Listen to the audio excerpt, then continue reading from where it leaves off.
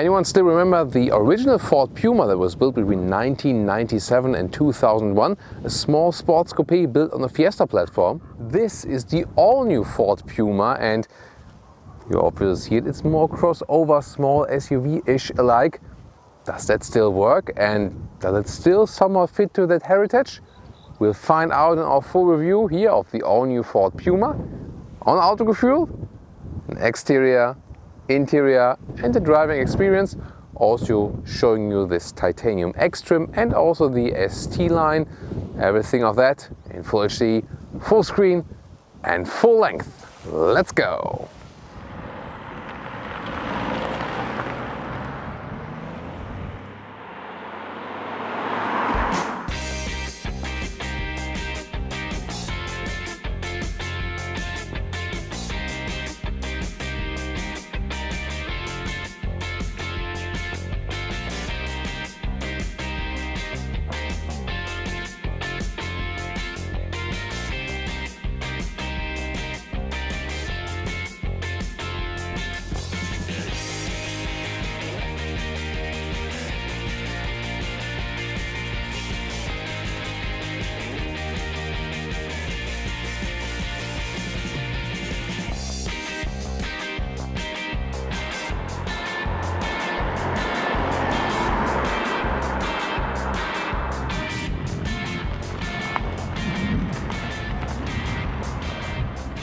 A very interesting and remarkable styling here for the front of the all-new Ford Puma. It does look very sporty indeed, although it sits on this Ford Fiesta platform, but a little bit higher, 5 centimeters or 2 inches. You can see here this one is the titanium X trim. It has a more, let's say, stylish and at the same time more crossover trim, a little bit more elegant. Here also with a chrome frame around and then this contrasting off-road style in the lower part with a silver look. However, we also have the ST line for you. That one then comes with a black frame around the grille and has a sportier look. In both cases, we have those very big headlamps. They come standard with LED and also with this interesting daytime running light. Optionally, you can also get LED technology for the high beam and also for the turning indicators. 4 meters 19, 13 foot 7 or 165 inches is the length here of the Ford Puma in this new generation and let's say that's about this longer than the Ford Fiesta or Ford EcoSport and about this shorter than the Ford Kuga. So it sits between the EcoSport and the Kuga lengthwise at least. So we can see here it has a rather central form, also some sports coupe alike, especially here with this ending, a little bit cheap materials here around the frames. This one again, as the Titanium X trim level, has those crossover wheel arches. However, then the ST line is a sportier look, then with painted wheel arches. We have it there in the blue color. This one here, a strong red tone. 18 inch wheels in this case here, so smaller ones available, 17 inch, but also bigger ones, 19 inch in the Sport Design Pack. 19 is a little bit big for this kind of small car, isn't it? So 18 might be a good compromise indeed. And the ST line comes with a sport suspension, which will be a stiffer ride. Overall, there's titanium, titanium X, ST line and ST line X. The X is then, you know, with a little bit more trim and features always soon more into details of that in the interior. What do you think about the exterior design? In the rear we see a strong Puma lettering, this one again with the titanium X trim, here with a silver contrast in the lower part and an honest design. We do have the real exhaust underneath, there are no fake exhaust whatsoever.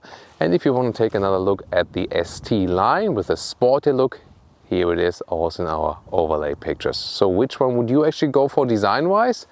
The titanium here or titanium X or rather the sport here ST line.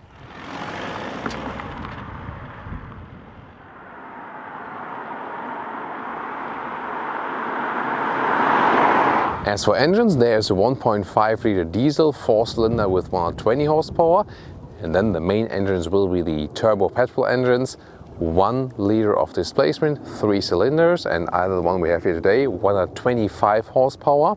That one either without or with a MHEV system. They call it then hybrid, although it's just a small hybrid, mild hybrid system. Or with 155 horsepower then the acceleration figure is a second faster, so it's 9 seconds, or with this one here, 10 seconds to 1 kilometers or 62 miles an hour. I'm really looking forward if this MHEV system here will have any advantages for the fuel economy. Soon more to that. We usually have a 6-speed manual gearbox. Later there will also be a 7-speed dual clutch transmission for the 125 horsepower version, but then just without the MHEV system. Usually other manufacturers, especially for example at Volkswagen, they say we only do the MHEVs with the automatic gearboxes. Here at Ford it seems to be just the other way around.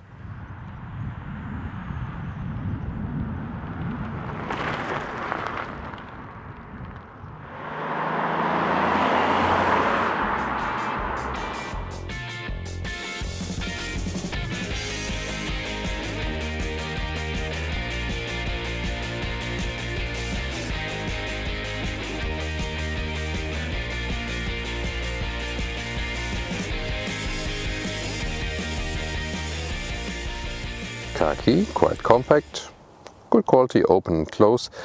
Also close the electric hatch, so electric hatch is available, soon more to that. You can also use the keyless entry if the ignition would be off, but we have it running at the moment. But first of all, door closing sound, actually quite solid. And now we, we get this warning sound, da -da -da, because we have actually everything on with the displays. You can see how it looks like from here. Now also the beeping sound stopped. So first of all, the interior right here, titanium X trim with a normal round steering wheel. Also from a base supposed to have leatherette steering wheel, that's of course cool. And we have those fabric seats, those ones here are also zippable, so you can change the covers in this titanium X trim exclusively fabric on the inside here is also quite durable and looks nice with the gray one. Looks living room, Scandinavian living room we like, so nice design.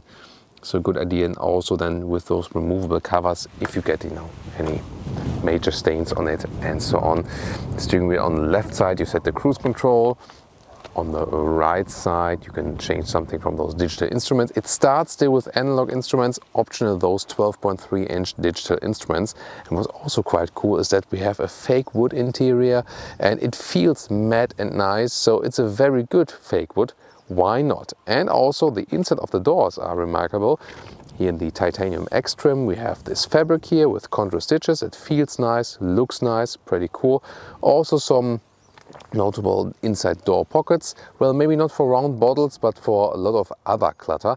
And we also have some shots from the ST line for you. Then at the inside of the doors, you get, for example, the red, you get a different decor trim, more carbon fiber like, but also not real one. And also a steering wheel with red contour stitches and this little sportier look definitely also you have sport seats where in the ST line you have sport seats with fabric and ST line X you get those sport seats here where you have some supposed to be animal skin on the outside. That's of course not really necessary. Let's get inside and it is actually a little bit easier than getting in the Fiesta because we sit a little bit higher and therefore it's also a little bit more comfortable. So when I put the seat all the way down with 1 meters 86 or 6 with 1 there is just a little bit of headroom left because this one does have the panoramic roof which goes in front and also in the rear so it's actually split. And you can actually also open it. Gotta put the ignition on for that so open it like this. And it's actually quite substantial opening. And either way open or close it does leave a lot of light in here so that's actually pretty cool. Nice feature. And by the way with manual covers for the front and the rear as well. Well, and it's not the most comfortable seating position, I have to say, um, although it's maybe a little bit better in the Fiesta, but seating comfort for tall people is not top of the game, I would say. Steering wheel can be moved in and out and also up and down. It's a good process. And this seat even has a seat massage function, has a button here at the side. Well, it's not like um, you know real very sophisticated massage like we know like from luxury vehicles, but you know it's something, but it's not an option I would say you know you need to have. Interior overview. Here we can see, yeah, Fiesta platform definitely resembles that. Soft touch here with the dashboard. Then we have this fake matte wood element. Again, good quality here as well. So it's a nice addition, definitely. Pretty thick steering wheel. Again, would be a little bit different in the ST line. And those digital instruments, really clear view, so more details to that. And an 8 inch screen you can get right here. But it's in this case also standard, so the Puma has a little bit higher equipment overall than the Fiesta. And this one, the Sync 3 system, soon also more deals to that. Also Apple CarPlay and Android Auto support. Still a volume knob, but the cheap rubber surrounding right there. So some of the interior parts, yeah, pretty cheaply done. Also in the lower climate unit right there. But it's still good to have this climate unit, yes. And also you know, ranging from 23 to 30k overall in price, you can maybe also understand that seat heating in the lower part is available, even, um, even a heated steering wheel. Then in the very lower part, there's also inductive charging for the smartphone, and you can also plug the phone right here in with the cable for the CarPlay or Android Auto connection. Six-speed manual gearbox in this case. Then we have a drive mode selector in the lower part, some cubby holes, and also the adaptive cup holders. Last but not least, this armrest with the leather red cover and when you put it up then you also have some more cubby holes underneath and one more USB charger. Oh, fancy Puma visualization but again blocked by those messages. So interesting we have a hybrid gauge here so when we are actually rolling and it shows when it does recuperate so when you have the brakes then energy is gained back there to this um, smaller battery. And that it's um, you know your left side speed, right side RPMs, but you can also switch around something. And when you have a route set, we will see that while driving very soon. Then you will also have some GPS information in this digital instrument. That's of course also another advantage. Now deals to the screen as all via touch. And this is then the GPS, which is somewhat okay, not the best one, not the worst one. You can get along with it. Um, but yeah, maybe use the Android Auto or Apple CarPlay GPS. It will be a little bit better. Then you can go back to the, you know, where you were actually. This is the home screen then, and you can add the phone via Bluetooth or then with a cable. Settings here, can scroll through that. And what's, for example, interesting when I press this special seat button here left next to the seat, there's also some settings here for different parts of the seats in the screen and also this massage function which changes a little bit then in the seat. And it's interesting to have, but again, not the most sophisticated one. And when you put in the cable then of the phone, then we'll have the Apple CarPlay or Android Auto if it would be an Android phone. There it is. There's a nice integration, pretty clear also, and this B&O optional sound system is actually pretty cool. Um, has some notable bass as well, so and a very crystal clear sound, especially for this price segment. So that's a um, pleasant surprise. Only thing still missing here with the Sync 3, when you want to use CarPlay and the car internal GPS, ah, that ain't working because then it switches to the maps of the iPhone in this case. You can say you want to use that anyway, but if you have a limited data usage, then of course it can be a problem. Yeah, that happens after a while. So um, guess the card wants to tell me, Thomas, finally finish up with the infotainment system. But one more, I want to show you the rear view camera, which has a you know, okay resolution, not the best one, not the worst ones. And here the helping lines adapt accordingly. Well, it's also, you know, against the light at the moment, but good to have it here over the whole screen. Even though it's just a small car, always nice to have it. So let's get in the rear and I mean, it's not primarily vehicle thought out to carry four tall adults and yeah, I don't fit here when I am actually driving. So yeah, hitting my knees right there. Um, also headroom wise. Hello and goodbye. So yeah, I do fit in here, but it's not like, you know, so I have to be aware of that. There actually the Ford EcoSport is definitely better because it has a better you know, package on the inside. So here I would rather say emergency seats for tall adults. Also zippable by the way here for the rear seats. That's better than for the kids. So rather for kids also here with ISOFIX and with you know real child seat, you flip the seats already from here, by the way. Soon take a look from the trunk. But it already has this nice styling here with the fabric also from the titanium X trim and just some cubby hole in the middle part, so no additional chargers. Pretty basic, but you also have a part of the panoramic roof here, which you can also close or open manually. And finally, a lot to show you with the trunk here. First of all, we have the foot kick opening mechanism for the electric hatch. That's quite nice. And then we have this, you know, pretty well sized trunk overall. So it's 456 liters overall, but soon more to that. 73 centimeters in length actually. And in width, it's a little bit less than a meter. And the height here, just to this cover, is yeah, is about 40 centimeters. That's okay. Interesting, by the way, this top cover is a, on the one hand a good solution because it's mounted on the top part, so you are all free and flexible here.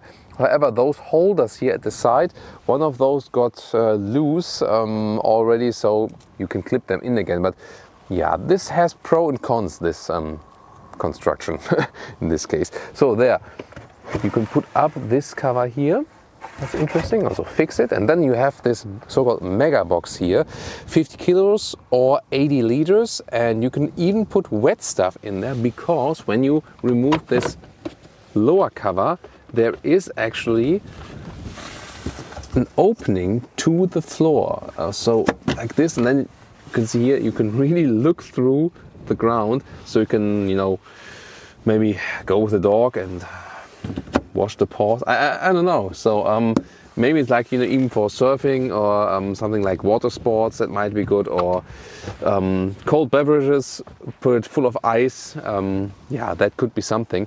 It's actually also quite deep. So this one here is over 30 centimeters deep so yeah therefore yeah 35 centimeters and then you could put maybe like from there to the top here like a you know for a plant transport or something that would be another use case and last but not least what about the overall length? So because we have not a fixed cover here that goes from the bottom, so the one from the top, we can easier flip the seats right here, top tether at the back part, and then we go with 147 centimeters.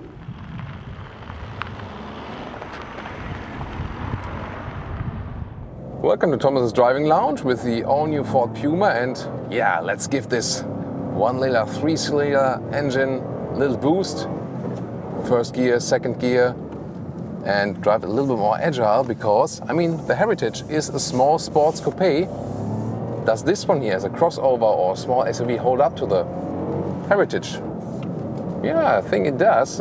Fiesta platform, it's still quite agile to drive, although it's a little bit higher, but actually quite cool. And I mean, this is almost like a rally heritage we have here now. So it's actually quite a, quite a lot of fun, pretty cool. Found some interesting roads here for you. Why not?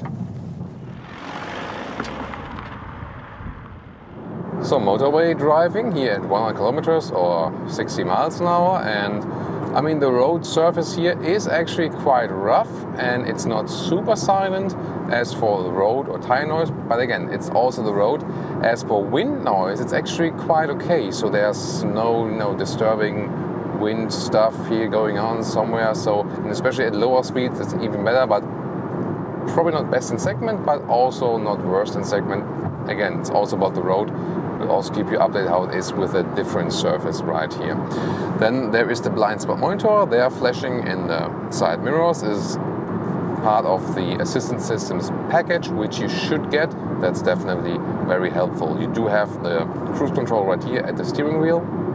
It's also an adaptive one, then again included in this package.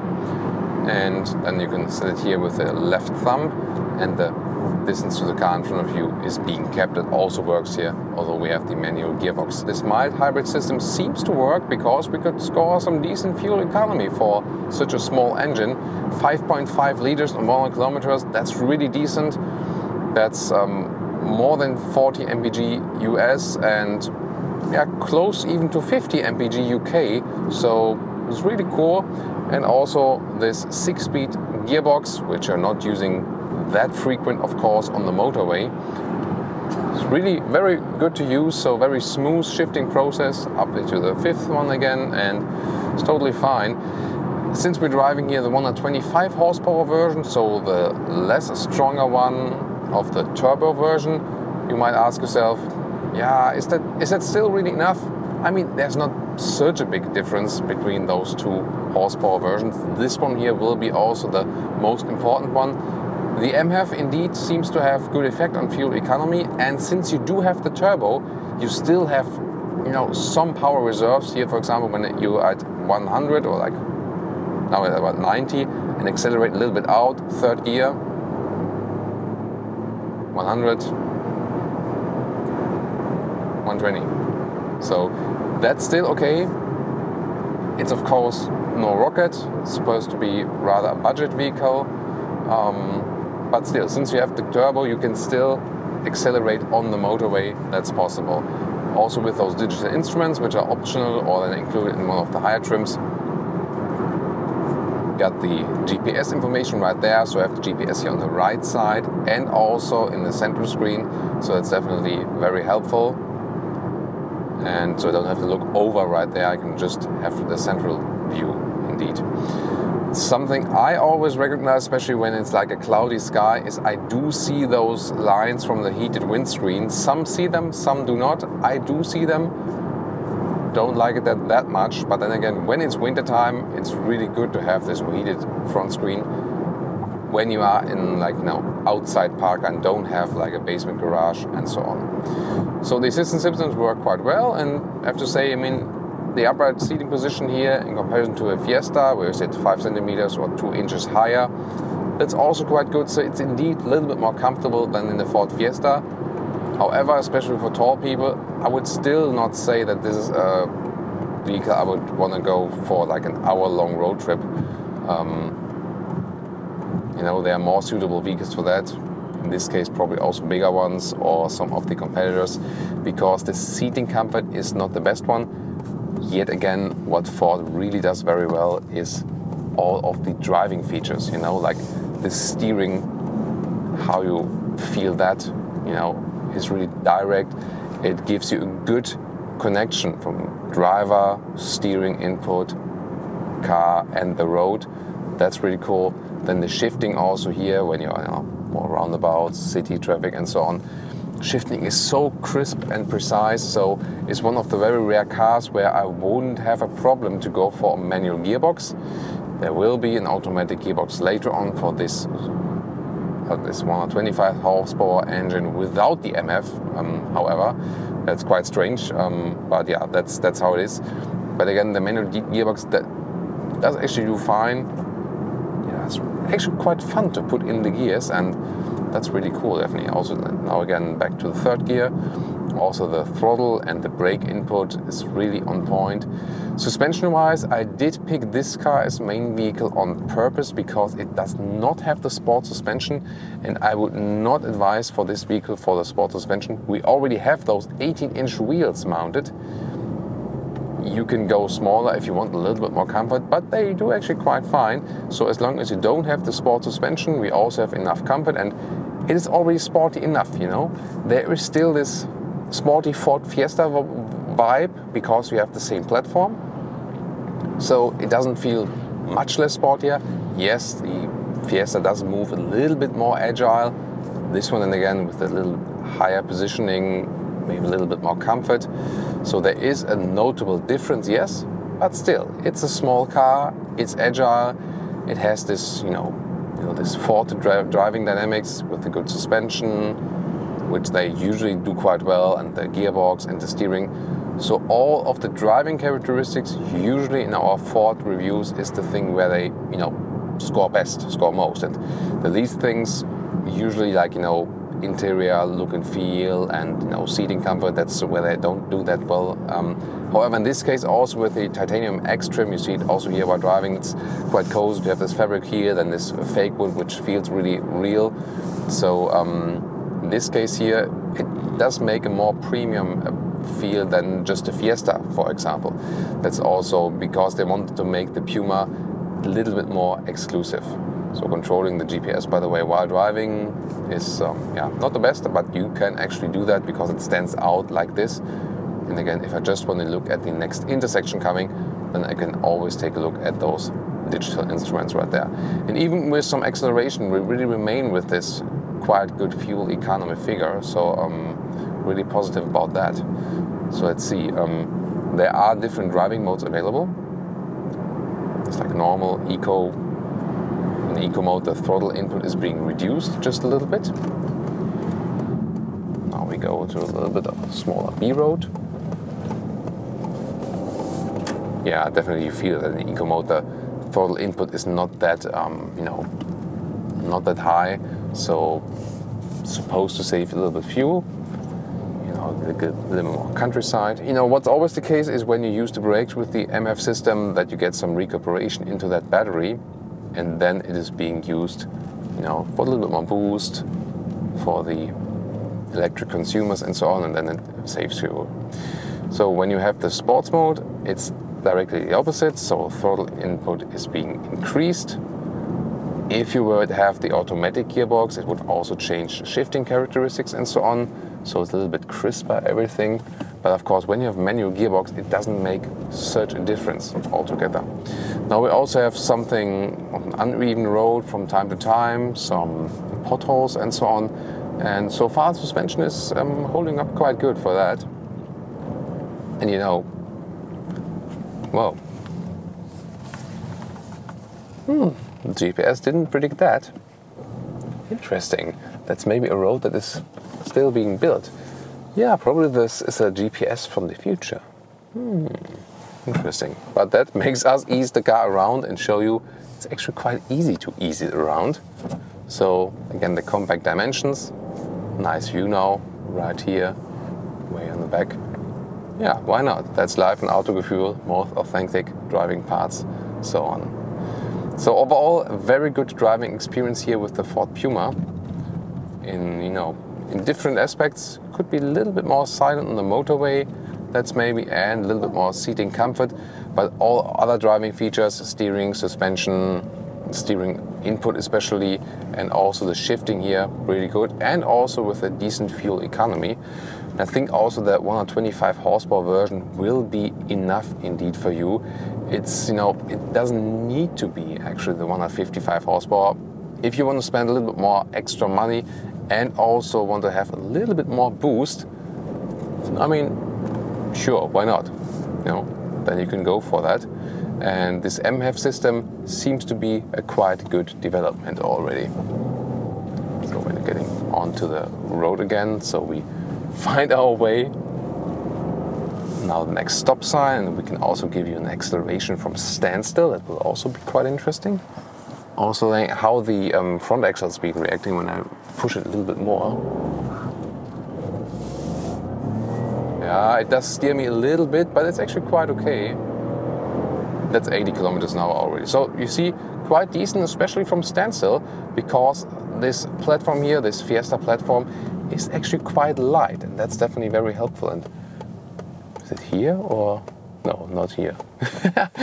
so today the GPS route is quite funny, but again, rear view camera, easing the car around, fast to the front. So something like this you can do only with a small car. If I would have a bigger car, I would need, you know, like a little bit more time to ease it back and forth around. So we can just be a little bit on the discovery way with you here today. Back to second gear. Maybe this would be situations where you could drive in a higher gear with the little bit more horsepower version. That could work actually.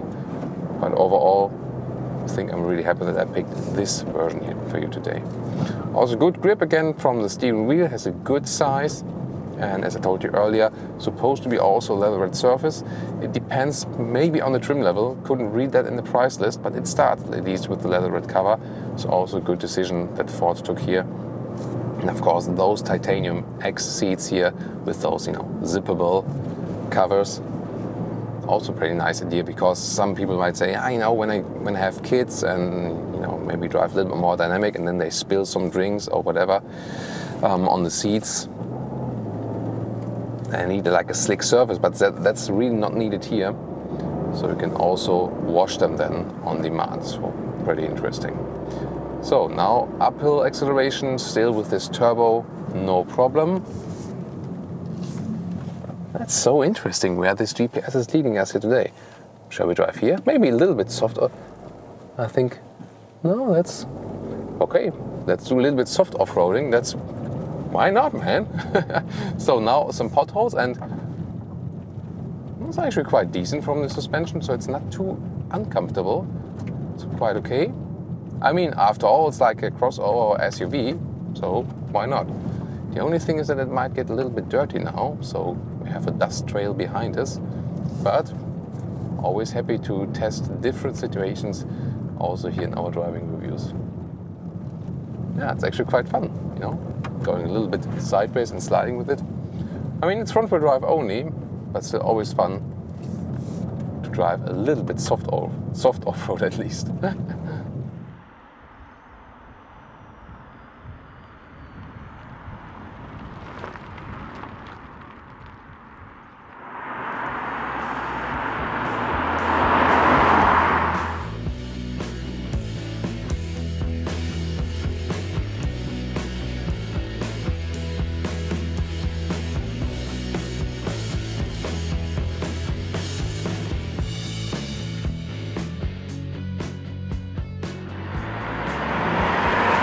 So, and now the 155 horsepower turbo petrol engine and the ST Line X. First of all, let's you know find some out some acceleration difference. 50 kilometers to 90.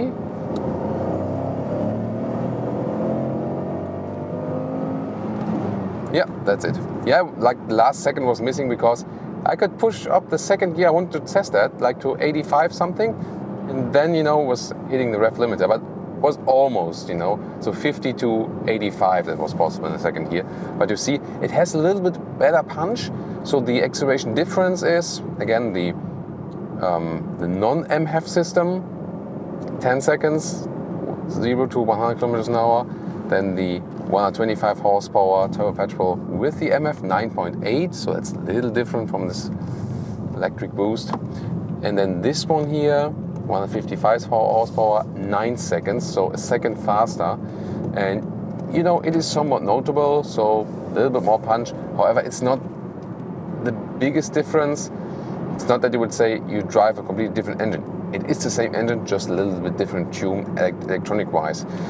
Yeah, nice tune, man. so, yeah, maybe it's just about, you know, spending some more money or not. But then again, I always, for durability reasons, rather say pick the biggest displacement available and the lowest horsepower spec for an engine. But yeah, one liter of displacement, you know. However, fuel economy wise, those new engines here and also with the MHEV system, they do actually work. So that's pretty cool. And this will also be the very same here. So, said earlier 5.5 liters, but really you know, try to keep it calm, six liters is more realistic on one kilometers. So that's then 39 mpg US, 47 mpg UK. And this will be the very same with this engine when you drive it the same way. When you also drive it in a calm way. So maybe, not sure if like with 30 horsepower more you want to push a little bit more. I guess not. So fuel economy will more or less be the same between those systems with the MHEV included each. Then, well, we do have the sport suspension in here. The sport suspension does automatically come with the ST line. The price list does not offer a choice to depick it. Maybe you can ask your dealer. Probably it's not possible, at least not according to the price list or configurator.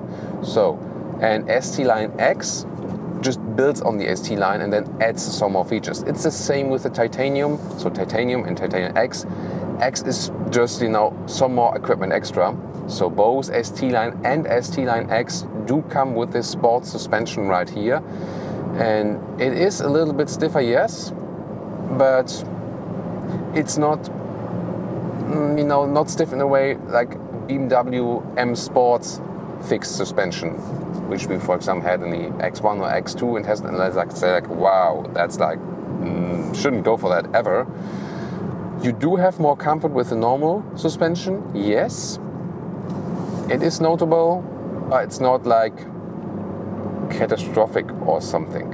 So, you know, my favorite pick actually would be the titanium, or let's say the titanium X because it has those, you know, special fabric covers. Then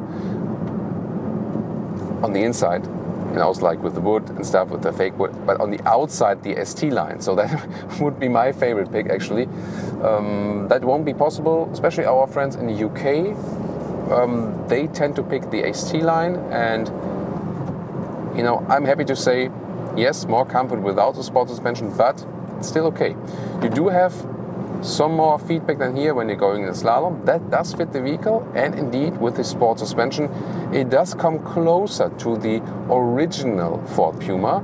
Beautiful also with those white villages here in southern Spain, by the way. So we have a nice route here for you as well. Um,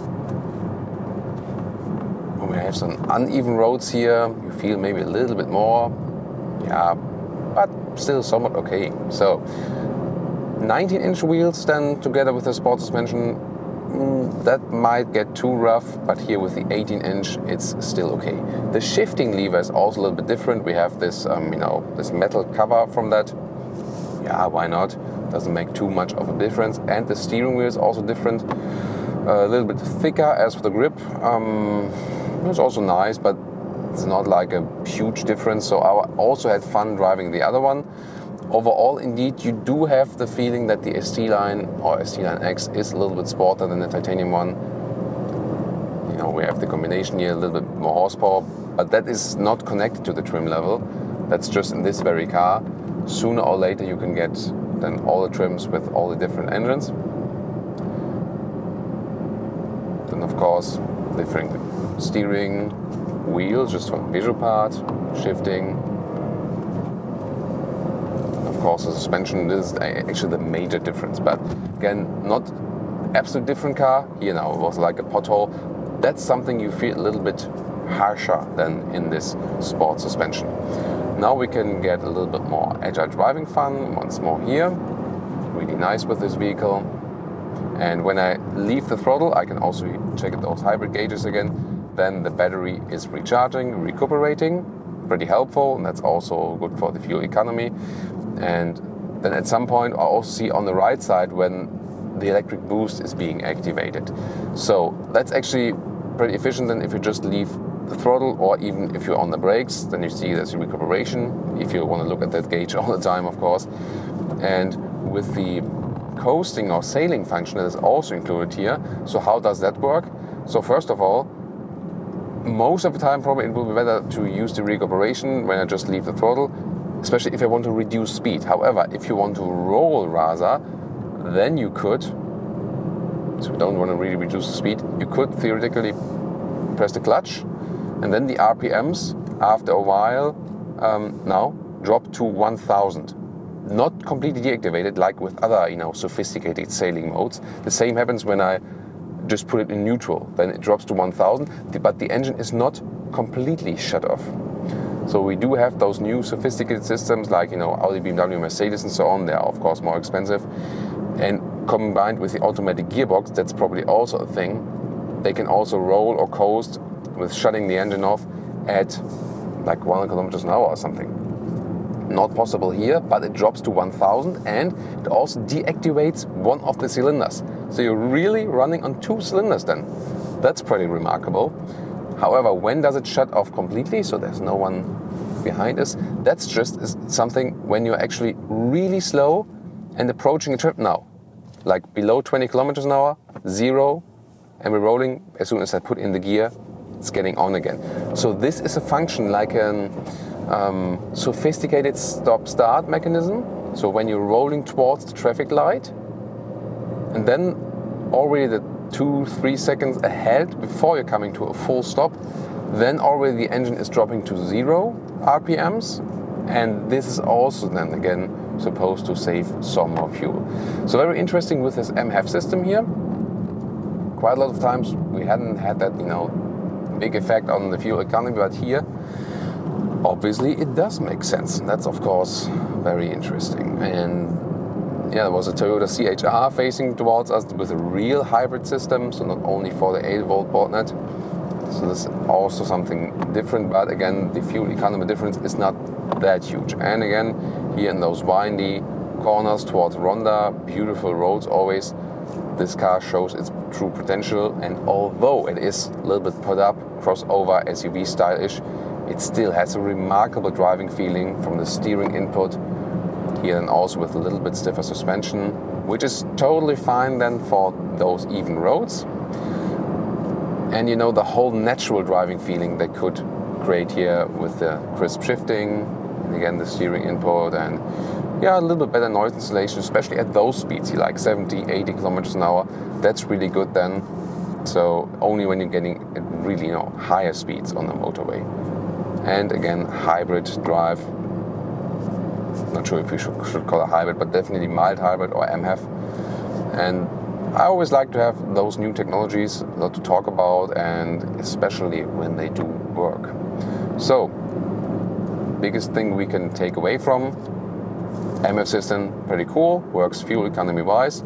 If it's 125 or 155 horsepower, not such a big difference. ST line looks way cooler on the outside, yes, but maybe you prefer otherwise, want more that, that crossover look. And good finding for me is that the sport suspension is not as stiff as expected. So that's pretty cool. So probably, yeah, not sure. Well, the interior is nicer in the titanium or titanium X, I think, you know. But that's, you know, something else you, you might think about. So yeah, I would definitely like, at the end of the day, ST line on the exterior and titanium X on the interior. That's my favorite pick for today. It's not possible, but maybe you Ford guys, product managers, if you're watching this, yeah, we have a lot of um, automotive manufacturer product managers always watching our reviews because they can compare the different vehicles. And so, all greetings to you then, shout out. Maybe if you're watching this from Ford, maybe you offer an, like an ST line titanium X for me, please. yeah, that would be cool, right? So, what's your take, guys? Please tell me in the comments. Would you go for the titanium or titanium X or the ST line, ST line X? which would be your choice, and what do you think also about driving this MHEV system here. And of course, I leave you then here with another nice corners here, road towards Ronda. Yeah, in the past you could drive a little bit faster here. Now they really have reduced the speed because some guys were exceedingly speeding this one, especially motorbikes. Um, there were also some fierce accidents, so you can also understand that they reduced the speed here right now. Still quite cool to drive it here with about 60 kilometers an hour. Was a little bit more fun in the past, but I mean, safety first, of course. So, some more corners here with this beautiful landscape in southern Spain. And then we'll hop on over back to the red car with the very final conclusion for today.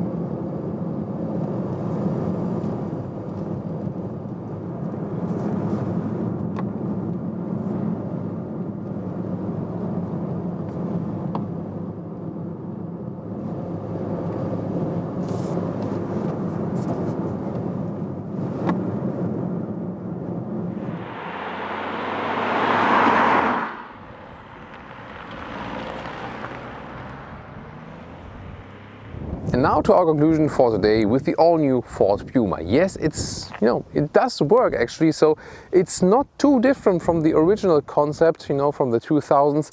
So it is a sporty ride, yes, it's also on the Fiesta platform.